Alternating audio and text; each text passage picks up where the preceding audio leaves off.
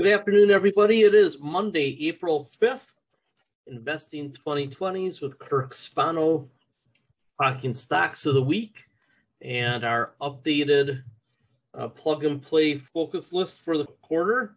Should have that out tomorrow morning. I don't want to show some of the new stocks tonight for the video. I'm going to do a little write up on those instead. But we're going to go through last quarter's list and I'm going to give you some hints if you're listening closely, as well as explain a couple stocks coming off. Uh, but first, just in case uh, you haven't caught these yet, uh, I did do the interview with Meb Faber and the one with Matt Tuttle. So you should probably listen to these if you want to understand why I've been s- selecting certain SPACs. Go ahead and listen to this. Um, I know a lot of people have not put the effort into understanding the SPACs, and it's probably something that you should do. I know that people don't want to think about things differently ever, and that's the major hurdle that we all have is nobody wants to think differently. The problem is that the great investors don't think like everybody else. So I'm trying to teach you what I've learned and how I've made a, a lot of money finding companies that are big values have hidden growth, have hidden asset values, or are ripe for some sort of merger and consolidation within an industry that unleashes all sorts of synergies. Uh, studies have shown that that is one of the best places to invest. So, with that said, some of the stocks that I'm putting on the focus list this week uh, fall into that category, and they're mainly in healthcare. So, when we pick out our focus stocks, we keep our investment philosophy in mind. I'm not going to go through this whole thing with you, but I did add a section here at the bottom about what is our bottom line on stock picking. And for the most part, we only want to buy great stocks or great companies. And we were going to ignore just about everything else. Why? Because even good companies with good returns aren't good enough to take individual company risk. A lot of things can blow up a company and then blow up the stock. We've seen a whole bunch of these charts lately where a stock that had run up two, three, four hundred percent loses 50% in a week. You have to be careful with individual company risk so unless you're getting enough upside, you shouldn't take the risk. There are plenty of good stocks inside of the ETFs that we own, which are in good industries and good sectors. They have secular trends behind them. We don't need to take individual company risk on anything other than a company that can be great or already is great. For the companies that already are great, you usually need either a sector wide correction like we've seen somewhat in the big cap technology recently, or just a general correlated entire market event where the stock market goes straight down. And that's when you can get your great stocks. Now, there are companies that are good on the surface right now, and then our analysis can figure out oftentimes whether or not they can become great. So those are the two categories already great and then potentially great and everything else you should ignore, which means 80 to 90% of the stocks in the stock market aren't worth your time. They're not worth your time and they're not worth your money because you can get exposure to good and lots of mediocre through ETFs. So when we try to find great companies, some of them are apparent Apple, Microsoft, Amazon, Google. These are companies that are Berkshire Hathaway. These are companies that we know are already great. And from time to time, we can get them on the cheap because there's a sector rotation or the whole market corrects. There's not a lot of those already great companies. What there are are a lot of good companies that get huge run ups in stock price and then a reversion to mean. You gotta be careful with those. Take a look at some of the companies that people think are great and really they're just good and their stock prices are way ahead of themselves. Many, many, many of the dividend stocks were the good companies that were getting great pricing, great share returns because people were chasing them. And then they came back dramatically. More recently, we've seen a lot of growth stocks go through the roof, having to do with the pandemic, work from home, things like that. And then some of them have come back. And interestingly, some of the healthcare stocks that have come back 30, 40, 50% are suddenly stocks that we look at and go, hmm, these probably are on the way to being great companies. And now suddenly we're getting them on the cheap. So some companies are on track to become big winners in the future. And those companies will get added to the plug and play focus stocks. So with the growth stocks, we're looking for companies that can have a triple or better in a three to five year time frame. That doesn't mean they will, and it doesn't mean that we can absolutely predict that. But we can try to line things up, different factors that we can back test for, and other other ideas that make sense when it comes to secular uh, trends, government policy, infrastructure, clean energy. We can take a look at what is on the side of a company that might take it from good to great. And if we can get in a little before the market figures it out, we're going to have a huge return. So we're looking for growth stocks that we think can triple or better in a three to five year time frame. Now, a stock that triples in five years has an annualized return of about 23%. But if it triples in three years instead of five, it's returned over 38% annualized. So triples are huge returns. Everybody's heard of the rule of 72.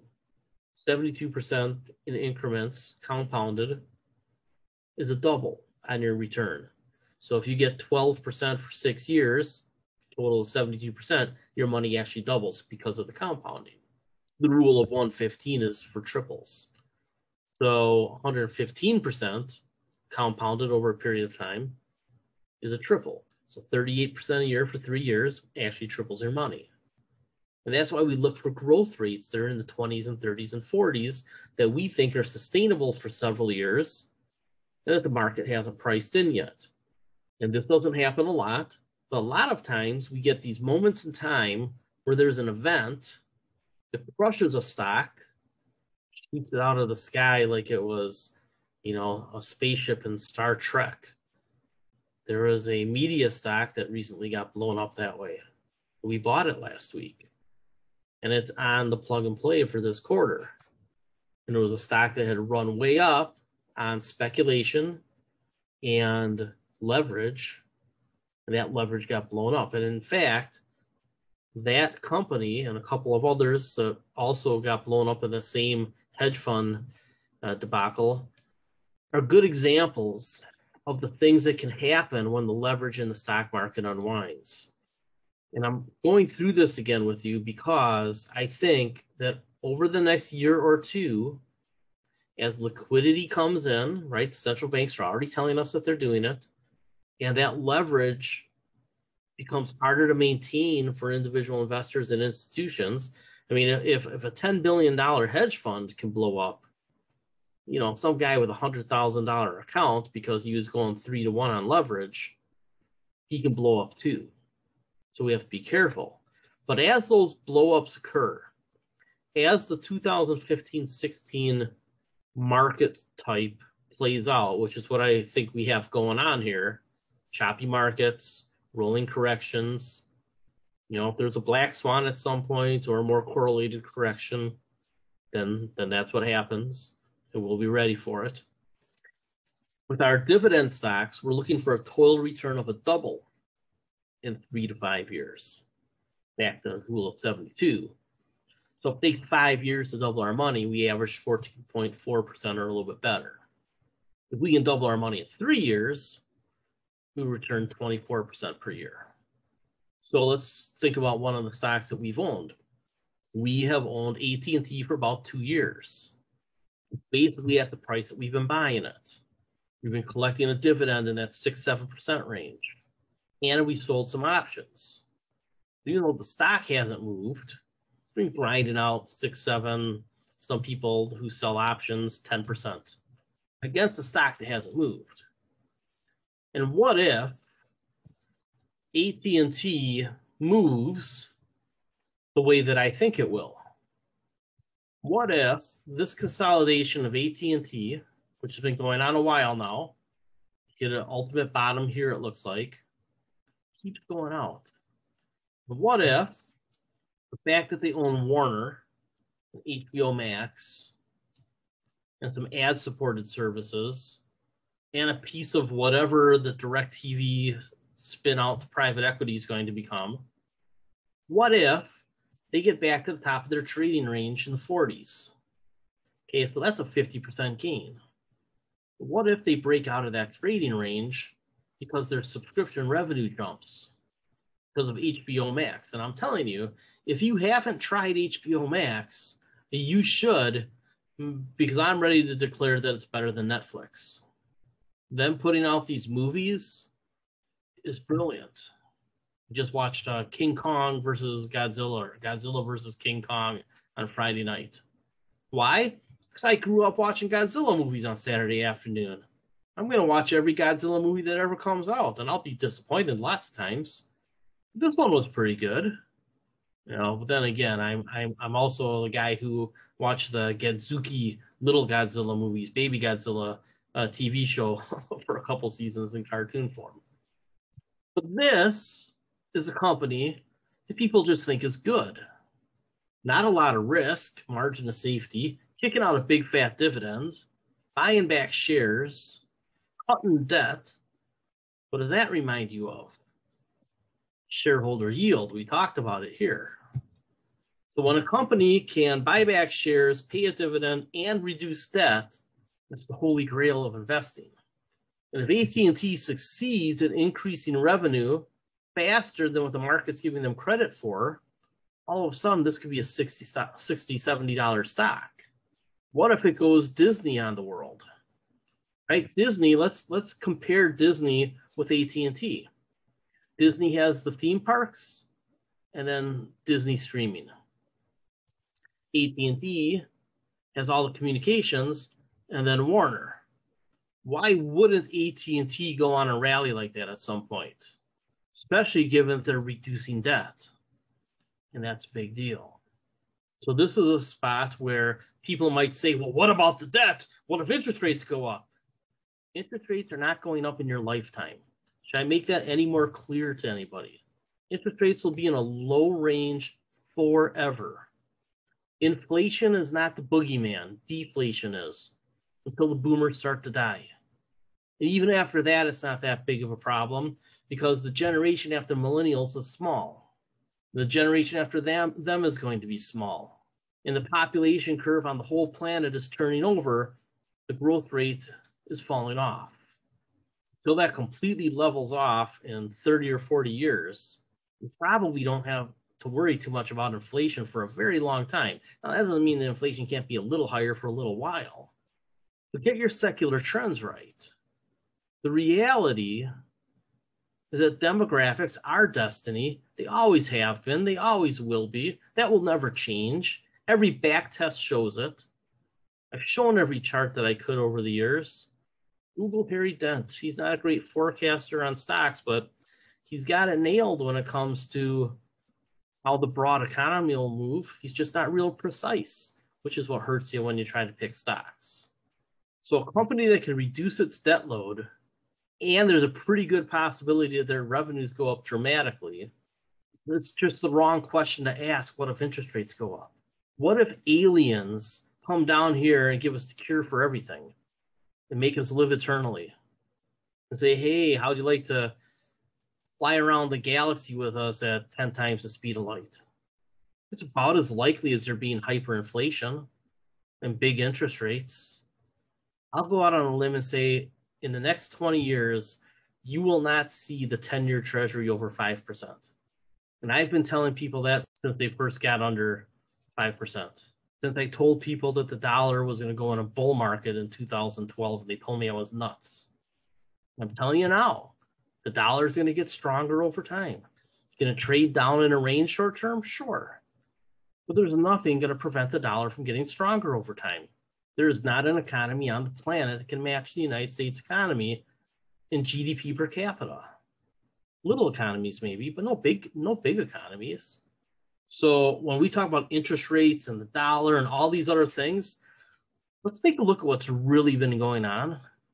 Because for the last 12 years, we've printed more money than we ever thought we'd print.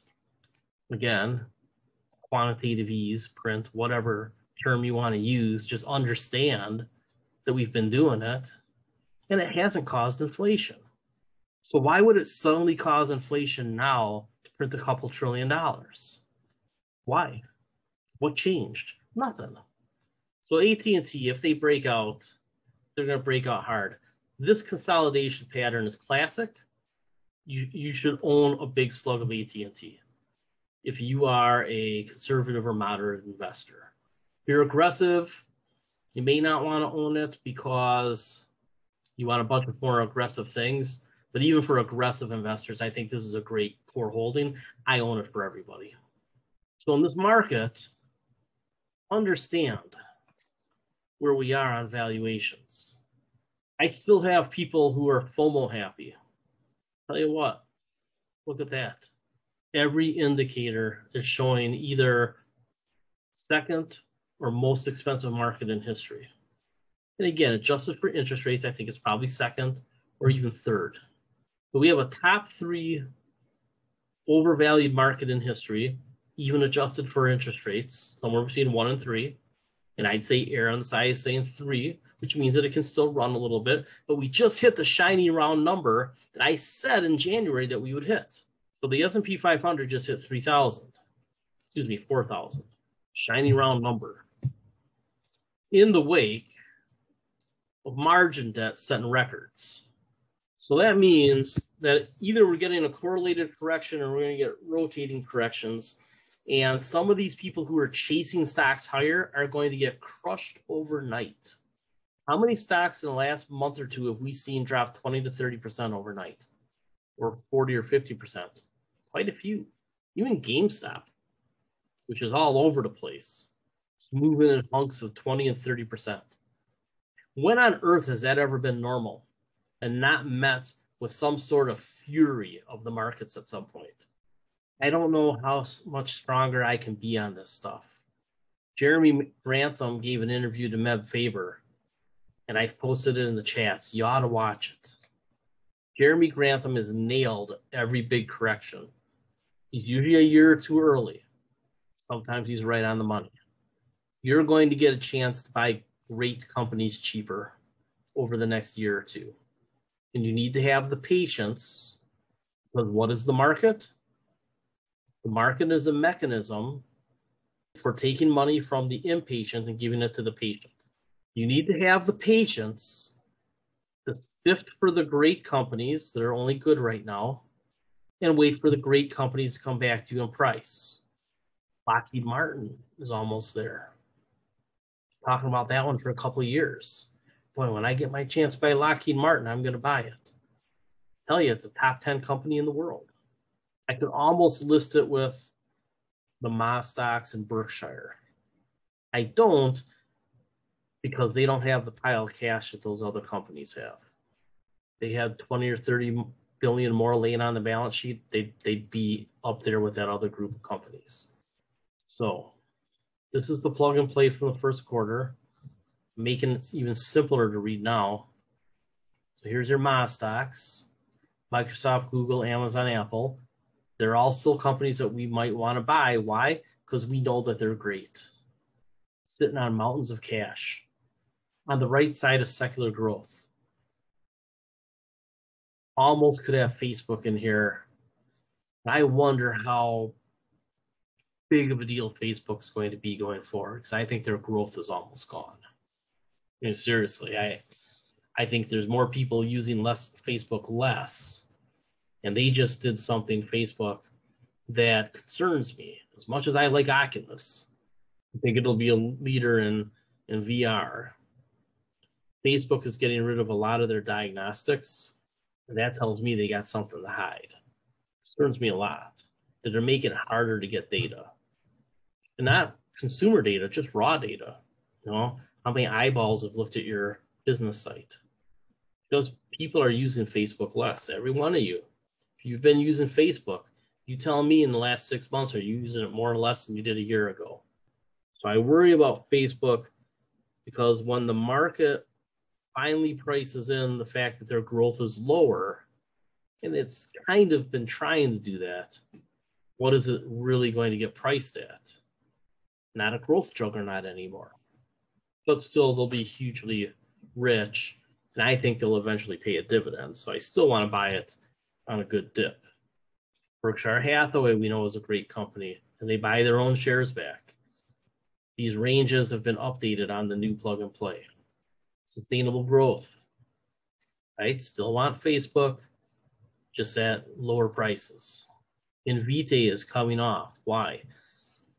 Mainly because the gene editing companies are starting to run into the reality that there's a lot of competition that Cathie Wood can't keep them all up by herself, and that their patent portfolios don't carry as much weight as you'd think, especially Invitae.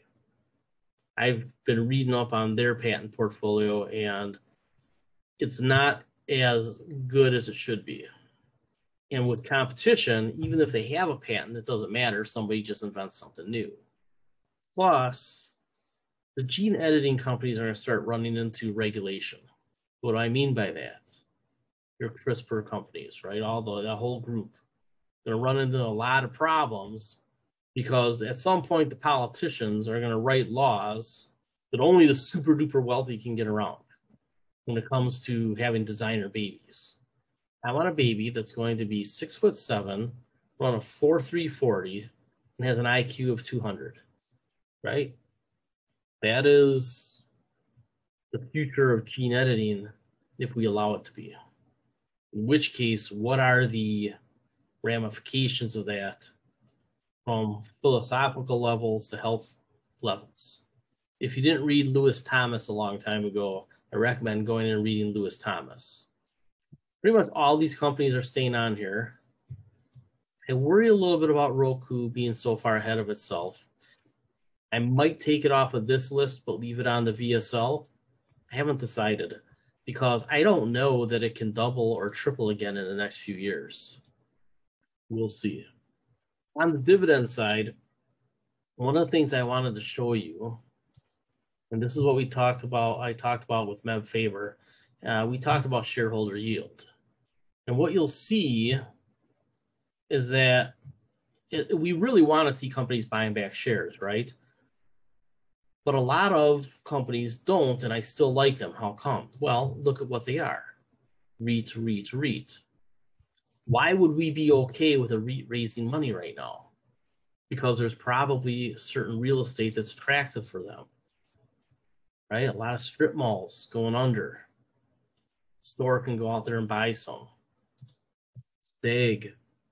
Upgrading industrial space. That and this is one of my favorite REITs upgrading industrial space and warehouse space as supply chains move back to America. Vici, now I will say MGM has got a good REIT too. Why do I like Vici even more? Because they're undervalued. They got the capital injection a couple years ago when they did that merger indirectly. There was a merger, right? Caesars got bought. It secured a lot of those leases. And now they bought the Venetian which is hands down, hands down, the best luxury casino in Las Vegas. They're nothing okay. close. Aria is awesome. So are a couple other MGM properties. But the Venetian is the jewel of the Las Vegas Strip. So you have to understand what buyback yield means. So all these companies are just operating companies, and here you go. You have CRISPR needing to raise money for general business purposes. And yet it's super expensive. So you have to be careful. And you see some of these other gene editing companies on here. So now you get back to where companies are starting to become what Charlie Munger called cannibals. They're eating their share count. Interestingly, Pioneer, which I've said is the really the only independent U.S. oil company that you might want to own. I don't own it. And all of a sudden, look, Merck with a dividend yield, shareholder yield of 4%, good earnings yield. Not great, but good. Ulta, very interesting. Not paying a dividend, but they're starting to buy back some shares again. Again, this is Ulta's a good company. And actually, I have taken them off of the plug and play quarter ago. Why? I'm not so sure they can be great. I think they're going to be a good company forever. I don't know if they'll ever be great. Take a look at their business model. How would they possibly generate bigger revenues and bigger margins at the same time? The only thing they could possibly do is really increase their online revenue, and there's a lot of competition there. Walmart, I think, will be a good company forever. Just got my Johnson and Johnson shot actually today at a Walmart. This company here, Quidel Testing Diagnostics. This is a company that I'm creating a separate list for, company to keep an eye on. Why? Because as I said earlier, a bunch of the healthcare companies, which spiked up are, and have come back, are now talking about mergers and acquisitions getting synergies out of mergers. Right in their conference call, they talked about it. So this is a stock that pulls back any more. I'd probably have to buy just on the idea that they can get back to their highs if they merged with Pygon or Exact Sciences or something, or just got bought outright by a Pfizer or something. When you go down this list, you go, okay, who's really starting to buy back shares? go, hmm, Gilead, Visa, AT&T, look at that. Plus dividend yield, a 9.2% shareholder yield. And this calculation doesn't include reducing debt or refinancing it. The traditional definition of shareholder yield is just combination of dividend yield and buyback yield. I take a look at debt reduction too, or the balance sheet as well, because a company that's borrowing a lot of money to buy back shares and pay dividends, like Exxon, is probably not in great shape. And you keep coming down this list, and you know, oh look, Apple, buybacks and a dividend. Dividend should be higher. Share prices ran. Still pretty good though, 4.2% shareholder yield. You start to find companies, Sirius XM Holdings. You go, huh, this is really interesting. One of the companies that had a real high shareholder yield a couple of years ago was GameStop. That was one of the reasons I got on them early on. And then I didn't trust management, I got out. But as management started to talk about doing the things that I said they should do two years later, and they got an activist investor, stock went nuts and it became a meme stock.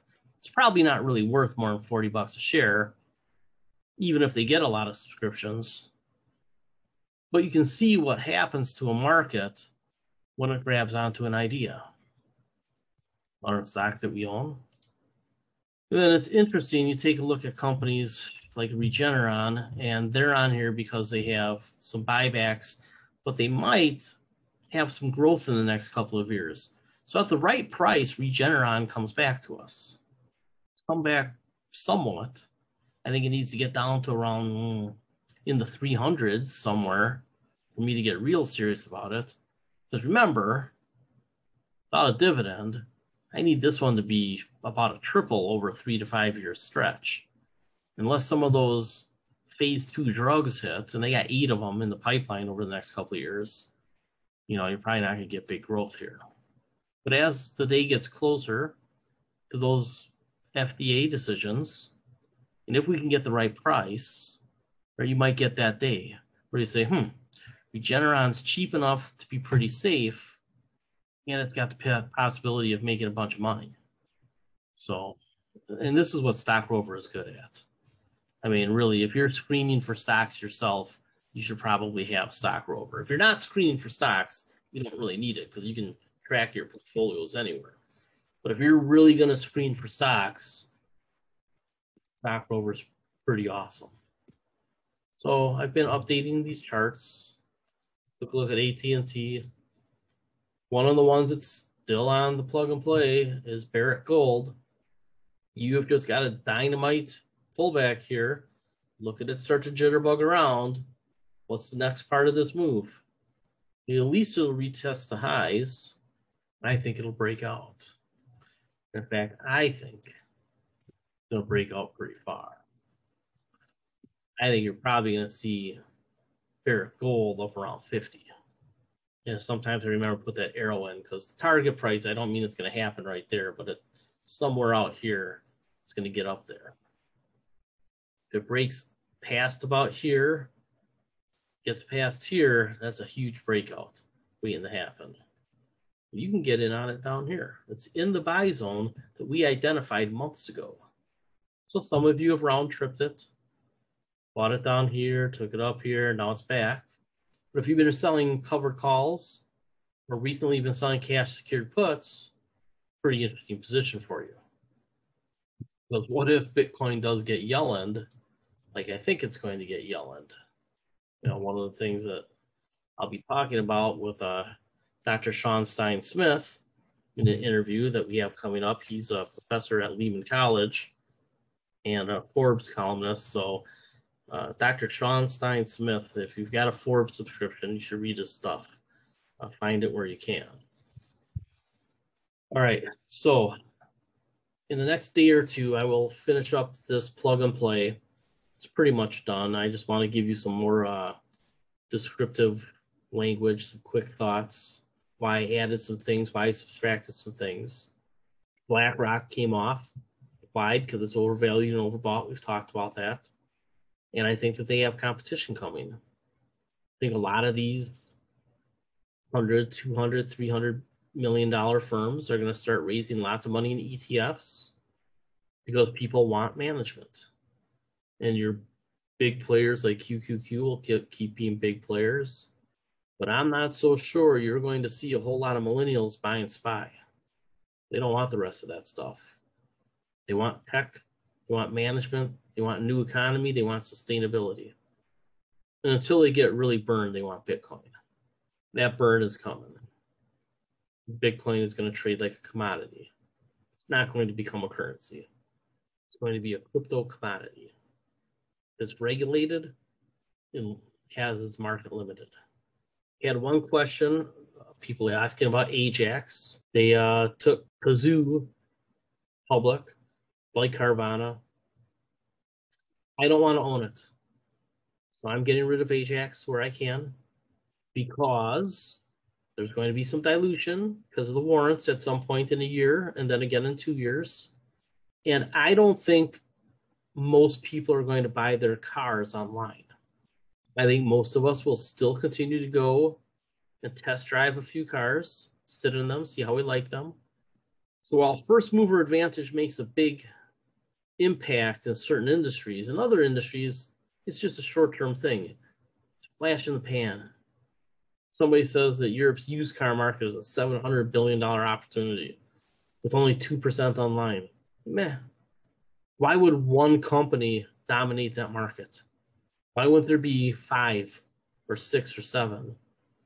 what makes you think that most used cars are going to get bought online sight unseen? unless they come with big warranties. And what do we know about warranties? Most warranties are overpriced and don't offer the right protection. I don't see a lot of used cars really getting sold online. Just can't see it. Maybe I'm wrong. But it seems to me that they have huge market risk and huge execution risk, likely competition coming, which means that they'll have to be fighting over price. So if the margins are too big, right? What do we know? Competition always comes. So it's a rule of economics. I don't see where the moat is. Where is their protection? So you can turn your Ajax shares in and then hold on to the warrants because you can't turn in the warrants.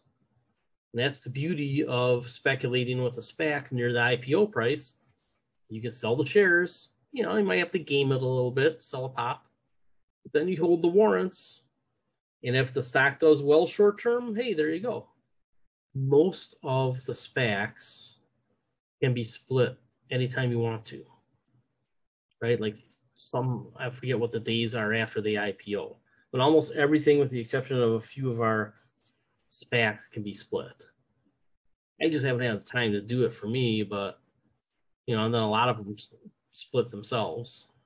So as I find companies that I'm going to split and where I sell the stock and I hold the warrant, but most most of the things you're better off just selling it outright because they're not under ten dollars.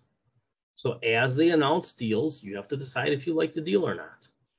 I'm not ex- excited about the Cazoo deal, and the market hasn't been terribly excited about it either. That should tell you something. It really should tell you something, right? Not a real, not a real excited market, is it? I think get rid of this. Maybe not right at that price. Maybe wait for a little pop. But the market doesn't love that deal. So if at some point the market does love the deal, then owning the warrants is worth your time. So split your units, sell the shares, keep the warrants. You got to talk to your brokerage about, right? If you want to redeem your shares, you know, you got to have the, yeah, they have split out anyway. I don't know what day the Cazoo deal was, but again, it's not generated any excitement. I might take my one or two dollar lot. Because I bought the dumb thing up here. I take my one or two dollars, hold on to the warrant, and hope there's uh, some love for this down the road. All right, so I will put out the new list has a has just a few more growth companies, including a space stock, getting rid of BlackRock, getting rid of Vite. Fact, Disney is no longer on the list. Just way too overvalued. Still on the VSL. If it pulls back 20 or 30%, I'd have to probably buy it. That last spike was obnoxious. Not something that probably double in the next three to five years from the current prices. That's really what I'm looking for. So again, Lumen Technologies has been great. Kinder Morgan, all the reasons we've talked about. Barrick Gold, all the reasons we've talked about. Nutrien, Stunwell. I think in a couple of years, you're going to look at Stag Industrial and go, whoa, I wish I had bought that. All right. Have a fantastic rest of the night. Enjoy the basketball game. And Aaron Rodgers is hosting Jeopardy tonight. Have a nice night.